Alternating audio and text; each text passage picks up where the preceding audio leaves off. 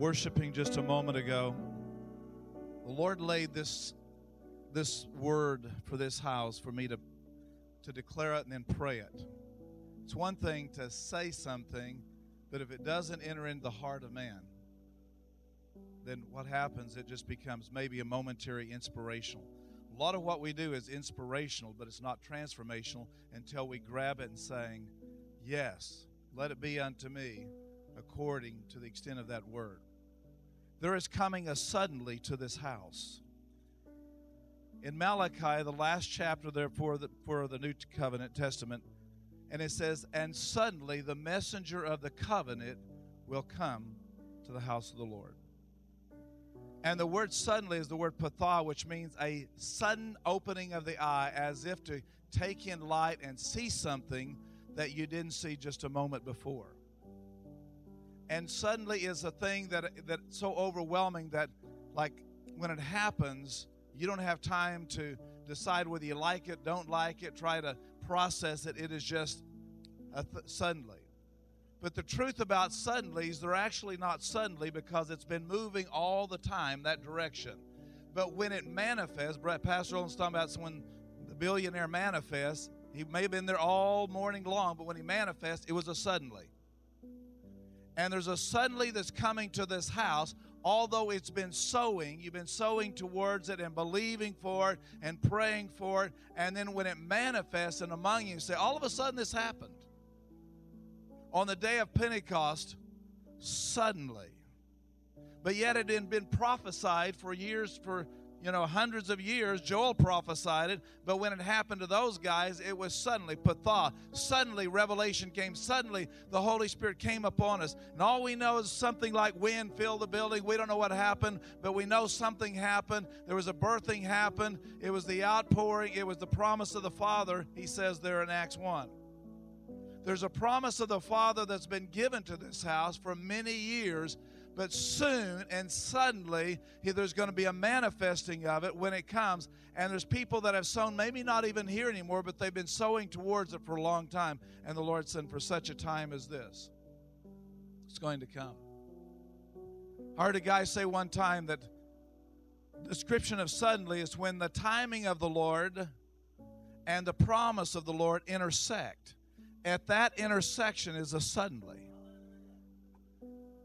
The word timing is kairos or chronos, depending. And so some of you have gone through seasons and you're saying, God, is it time? Is it time? Is it time? And you've had times to where it looked like this was it, but that was only a testing of the season of the time. But when this suddenly comes, there will be no doubt about it that it is such a supernatural emerging of something that you've been sowing towards, looking for, prophesying and declaring. Because when you prophesy, you're actually sowing. Prophetic is just like seed put in the ground. You're, you're sowing something towards the day that comes. And the Lord is saying to you today, this suddenly, when it comes, you have to embrace it. And if this suddenly comes, some of you may have think, I've been here a long time. Is this, what about me and my position?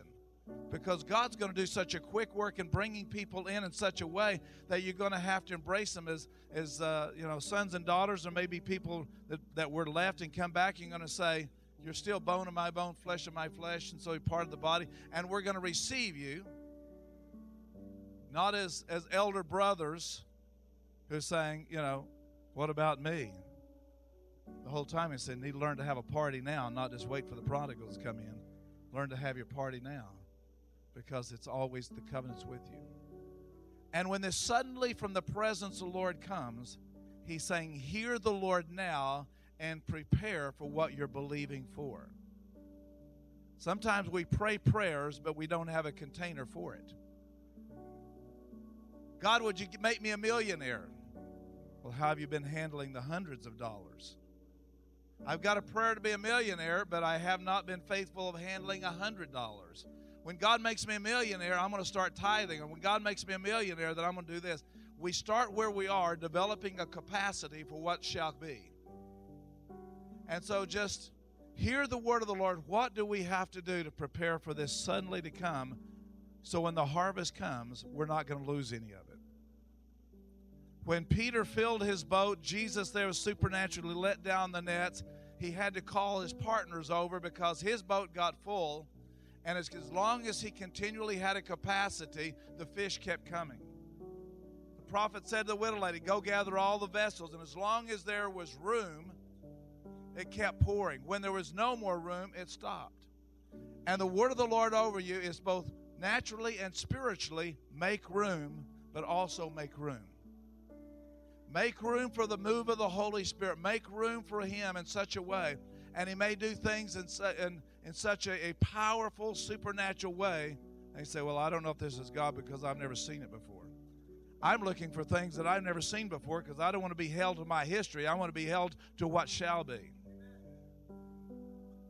And you may be at praying prayers that you have yet to have the capacity to receive it. And it may appear that God is saying no because it hasn't happened, when the whole time He's not saying no, He's just saying, if I poured it out, you don't have room to contain it. I don't know how you do this, but I believe the Lord will show you. Whether it's in a home, here, make room for what He's getting ready to do. If you were going to have a child, you wouldn't wait till the child brought him home and said, Oh, wow, we got a one bedroom apartment. What are we going to do? Well, we should have thought about that nine months ago. We scatter around. The Lord is saying, prepare for what you're believing and what you're seeing because it really proves whether you really believe in what you're seeing. Or otherwise, it's just an encouragement. Exactly. Amen.